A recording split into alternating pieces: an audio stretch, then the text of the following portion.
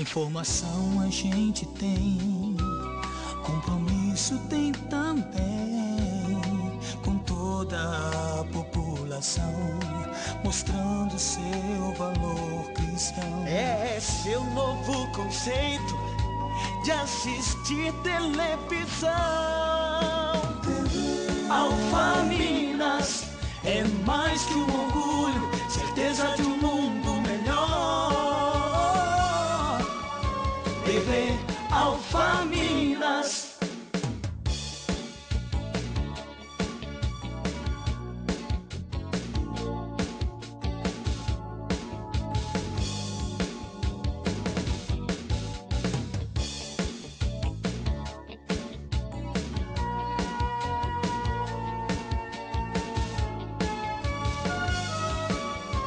TV Alfa Minas.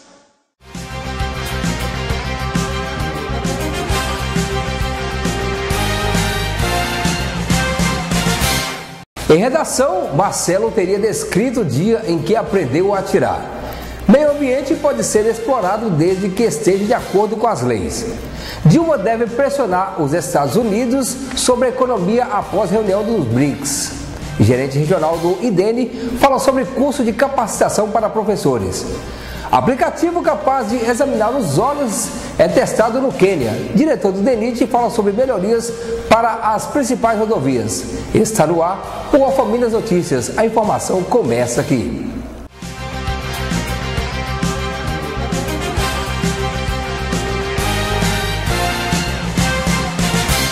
Em redação, o menino Marcelo teria descrito o dia em que aprendeu a atirar. A polícia afirmou que laudos da perícia confirmam que Marcelo Perseguini matou os pais, a avó, uma tia-avó e depois cometeu suicídio. Meio ambiente pode ser explorado desde que esteja de acordo com as leis. Segundo o comandante da 15ª CIAMAT, o que não pode são os excessos. Bom, isso é um processo, um processo de evolução da própria sociedade e através disso a mudança das normas. Na nossa unidade, né, o que a gente tem feito é tentar entender esse cenário todo na aplicabilidade lá no, no, no cenário da, dos acontecimentos. Ou seja, não execrar o cidadão, não complicar demais a vida dele. Orientar o máximo possível que puder para que ele proceda de acordo com as normas porque essa é a finalidade. Né? O Estado, a finalidade do Estado, a visão estratégica do Estado, é que não impeça o crescimento, né? que o cidadão chame o cidadão para a regularidade. Né? E isso a gente tem que ser feito. Ou seja, orientar o cidadão para que ele procure o caminho certo para estar regular. Quando há aquelas situações que não tem como ser, é, que ultrapasse esse, esse limite de orientação, aí são tomadas as providências, através das autuações que são feitas. Mas o processo é tentar chamar o cidadão para a regularidade, na medida do possível, para que ele estando na regularidade, com certeza ele vai atentar para alguns princípios que tem, atender os, algumas é, condicionantes que tem, e aí, de, é, logicamente, o meio ambiente vai sair lucrando porque é, não vai ter esse dano ao meio ambiente. Ou seja, uma exploração sustentável. Sim, porque a regularidade, algumas pessoas falam, ah, porque pagou pode. Não é isso. Porque quando você paga, você se sujeita a algumas condicionantes, e essas condicionantes é para que é, consiga é, um desenvolvimento sustentável, do jeito que possa progredir, crescer, sem agredir demais o meio ambiente. No próximo bloco, Dilma deve pressionar os Estados Unidos sobre economia. Gerente regional do IDENE fala sobre curso de capacitação para professores. Vamos a um breve intervalo, mas antes confira a previsão do tempo.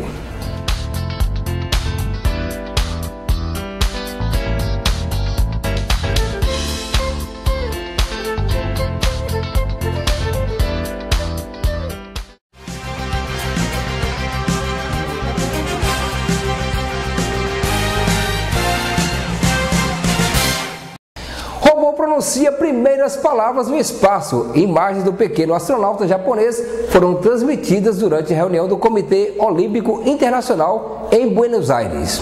Dilma deve pressionar os Estados Unidos sobre economia após reunião dos BRICS. Brasil, Rússia, Índia, China e África do Sul discutiram política monetária antes da cúpula do G20. Gerente regional do IDENE fala sobre curso de capacitação para professores. Em entrevista ao Alfa Minas Notícias, foram mencionados vários assuntos, mas o de maior relevância foi a educação. Nós temos aqui hoje, nós estamos capacitando professores que são chamados no programa tecnicamente de alfabetizadores, de coordenadores, pessoas que vão coordenar as turmas de alfabetização. Essas pessoas foram contratadas pela Fundação Diamantinense de Amparo à Pesquisa e Extensão, que é a Fundaep, e elas foram contratadas via edital. Nós lançamos um edital, uma concorrência pública para essas pessoas participarem. E essas pessoas que estão aqui hoje foram selecionadas a dedo.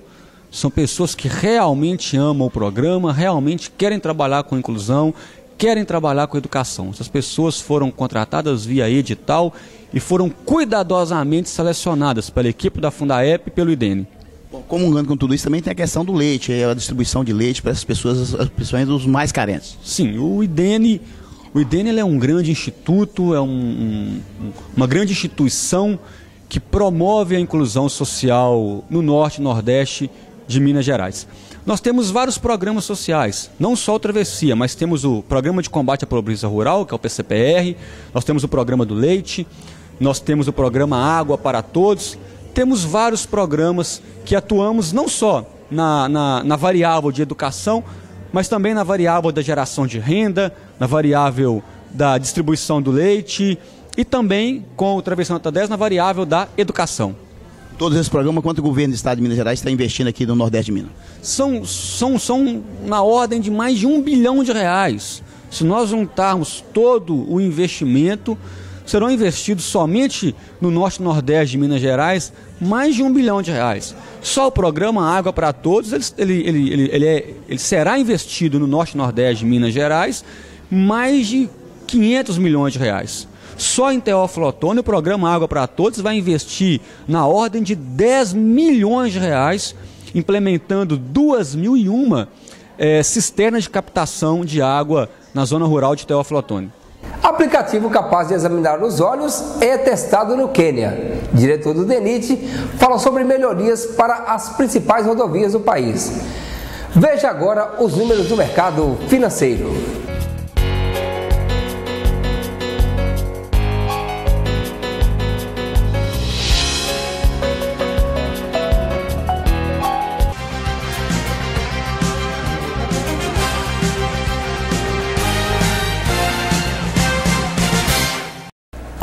Aplicativo capaz de examinar os olhos é testado no Quênia.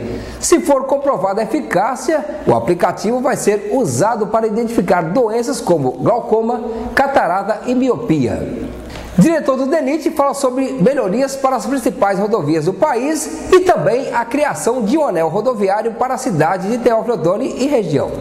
O DENIT agora ele está privatizando, ou seja, fazendo a concessão de todas as rodovias importantes do Brasil.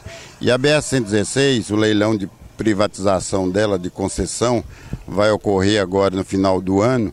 E a empresa que ganhar essa concessão, ela tem a obrigação de duplicar toda a BR-116 eh, nos próximos cinco anos. Vai ser uma cláusula contratual. E dentro desse, desse, dessa, dessa duplicação vai sair o anel de contorno de teoflotone duplicado e juntamente com a duplicação de teoflotone Valadares nesses próximos cinco anos. Sentido, é, o projeto inicial que já tinha aqui de duplicação, ele permanece ou vai ser feito um novo projeto? Não, esse projeto foi aprovado e ele vai ser aproveitado, ele está sendo exatamente conduzido dentro desse projeto. Esse projeto vai ser repassado à firma concessionária para executar a obra de acordo com o previsto no, no projeto. Aonde que começa esse anel rodoviário e onde termina? Esse anel rodoviário ele começa ali logo para cá da, da curva da Jaqueira, é, para cá daquela empresa que faz tratamento de madeira, ele entra à direita, é, desce, passa no próximo ao campo de Altamiro Nunes Leite, é, passa na água mineral, passa depois da faculdade é, federal, passa entre a Geraldo Porto e, e a turma 37 é, sobe no alto da, da antes da, do, do, alto da avenida, naquela curva, atravessa a BR-418, passa pela fazenda do, do, dos Freda e vai sair na reta do posto Teoflotone. Frase do dia: O homem deve criar as oportunidades, não apenas encontrá-las. Francis Bacon. O Alfaminas Notícias fica por aqui. Até uma próxima edição, se Deus quiser.